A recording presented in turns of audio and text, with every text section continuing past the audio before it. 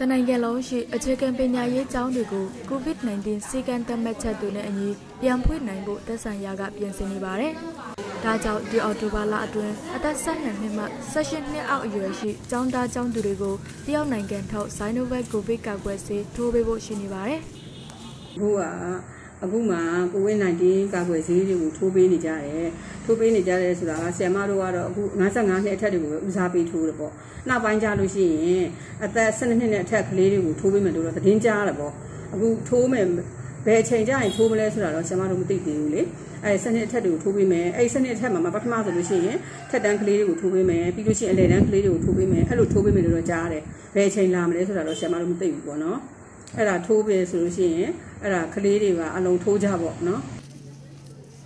မွန်ပြည်နယ်ပညာရေးမှုရုံးရဲ့ပြောဆိုချက်အရဆိုရင်ကိုဗစ်ရောဂါကိုထိန်းချုပ်နိုင်ပြီး COVID-19 အရေးပေါ်တုံ့ပြန်ရေးကော်မတီကနေညွှန်ကြားချက်တွေရပါကကျောင်းတွေပြန်ဖွင့်နိုင်မှာဖြစ်ပါတယ်။လက်ရှိမှာတော့စာသင်ကျောင်းတွေပြန်ဖွင့်နိုင်ဖို့အတွက်လိုအပ်တဲ့ကျောင်းသက်ရှင်ရေးအစောအောင်ပြင်ဆင်မှုလက်ဆေးပေစင်တွေနဲ့ COVID-19 ကာကွယ်ရေးလုပ်ငန်းတွေကိုစတင်ဆောင်ရွက်နေပြီဖြစ်တယ်လို့သိရပါတယ်။ အခြေခံပညာရေးကျောင်းတွေပြန်ဖွင့်နိုင်ဖို့စီစဉ်လာတဲ့အပေါ်ကျောင်းသားမိဘတအူကအခုလိုပဲပြောပြလာပါတယ်။ tán lên tán bà là thì mang ma lào rồi vài bà làm chết là to nó khôn chọc thì cô ngại là cái màu mà nó hậu tán thấy cái lịch lầu လ